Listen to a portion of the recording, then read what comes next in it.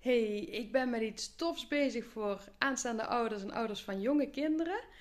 En daar kan ik jullie input heel erg goed bij gebruiken. Of je nou pas moeder of vader bent geworden of juist al heel erg lang geleden.